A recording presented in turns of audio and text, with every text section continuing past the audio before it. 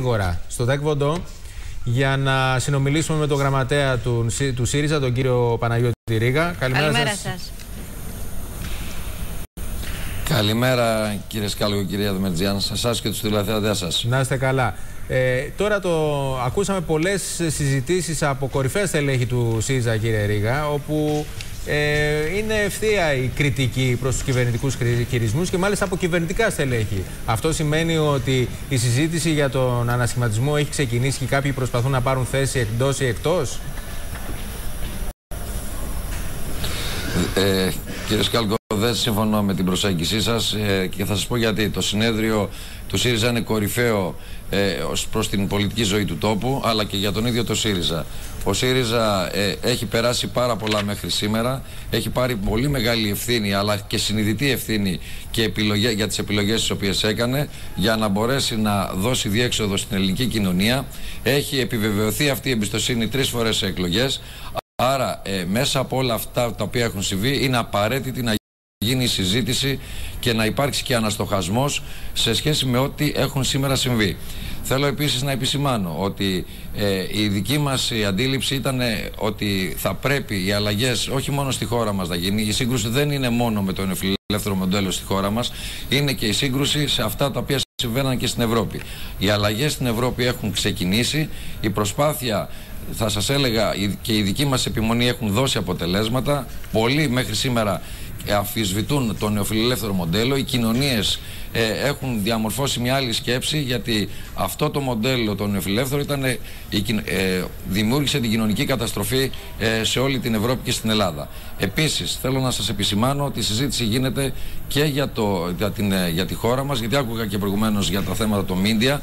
Εδώ στη χώρα μας είχαμε και πέρα από τη μεγάλη οικονομική κρίση και το νεοφιλελεύθερο μοντέλο είχαμε και ένα, μια μορφή παρασυντικού καπιταλισμού τι σημαίνει αυτό, Σημαίνει ότι το οικονομικό σύστημα, το μηντιακό και το πολιτικό είχαν διαμορφώσει ένα κοινωνικό πλαίσιο το οποίο ήταν, ε, οδήγησε τη χώρα Ωστόσο, εδώ που την κύριε ε, Ρίγα, φαίνεται πως ε, υπάρχουν ε, επιμέρους προσεγγίσεις ναι. και διαφορετικές προσεγγίσεις σε κάποια Δεν θέματα. Σας άκουσα. Υπάρχουν, λέω, φαίνεται πως υπάρχουν από τις τοποθετήσεις κιόλας ε, και τις ανακοινώσεις που έχουν βγει. Φαίνεται πως υπάρχουν κάποιες επιμέρους προσεγγίσεις. Για παράδειγμα, Διαβάζαμε το, στο κείμενο των 53 ότι δεν θα πρέπει να κάνουμε το μνημόνιο ως success story και να αναλωνόμαστε σε δηλώσεις το δικό μας το μνημόνιο είναι καλύτερο. Επίσης κριτική στο άνοιγμα προς πάσοκογενείς δυνάμεις και προσωπικότητες με την έννοια ότι ο κόσμος είναι ευπρόσδεκτος αλλά δεν θα πρέπει να βλέπουμε τη διεύρυνση μόνο σε θέμα προσώπων και το ότι δεν θα δεχτούμε ποτέ το, το κόμμα μας, το κοινό μας σπίτι να διολυστήσει σε πασόκικες πρακτικές υπάρχουν διαφορετικές προσεγγίσεις, έτσι. Λοιπόν, πρώτ, ναι. Πρώτον, ε, δεν, πάλι δεν θα συμφωνήσω και θα σας πω γιατί.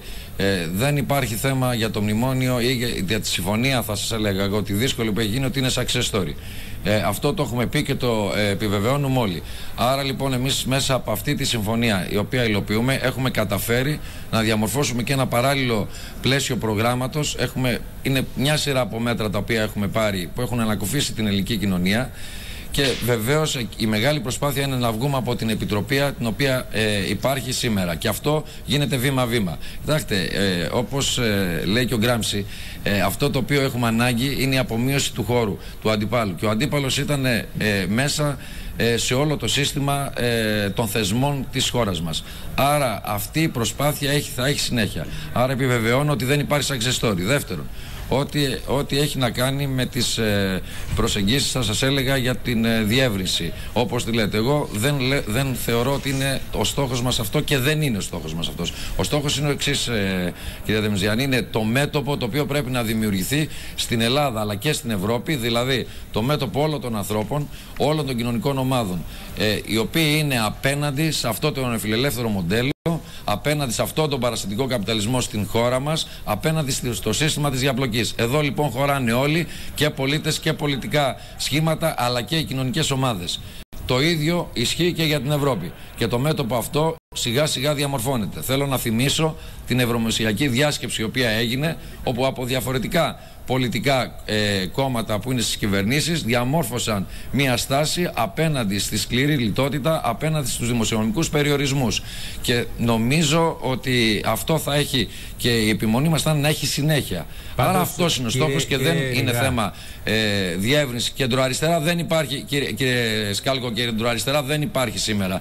Το Πασόκ με τις πολιτικές που ακολουθεί και συνεχίζει να ακολουθεί είναι ουρά της Νέας Δημοκρατίας και θα πρέπει να καταλάβει να καταλάβει ότι και στην Ευρώπη γίνονται αλλαγές στο επίπεδο της Σοσιαλδημοκρατίας. Καλά, να δούμε για το Πασό. Καλά. Τώρα, εσείς δεν στρώνετε σοσιαλιστικό δρόμο που επικαλείται ο Πρωθυπουργός εφαρμόζοντας μνημόνιο, γιατί μιλάτε για νεοφιλελεύθερες πολιτικές, αλλά είναι το μνημόνιο που εφαρμόζεται και που θέλετε να αναολοκληρωθεί σύντομα η δεύτερη αξιολόγηση για να πάμε στο θέμα της αναδιάθεσης του χρέους. Να πω και πάλι ότι η αριστερά δεν, ε, η συγκυρία δεν την επιλέξαμε εμείς. Η αριστερά λοιπόν σε αυτή τη δύσκολη συγκυρία ανέλαβε αυτή την ευθύνη. Άρα ε, κατά τη δική μας ε, οπτική η προσπάθεια που γίνεται είναι να βγει η χώρα από το, την κρίση και να υπάρξει και να υλοποιηθεί ένα πρόγραμμα το οποίο για μας είναι αυτό που λέμε ο μετασχηματισμός, ο κοινωνικός μετασχηματισμός της, στην κοινωνία. Μάλιστα. Σας ευχαριστούμε λοιπόν, πολύ. Να είστε καλά, κύριε Ρίγα. Καλή συνέχεια στο συνέδριο. Ευχαριστώ πάρα πολύ. Να είστε καλά. Καλημέρα σας. Ευχαριστώ πολύ.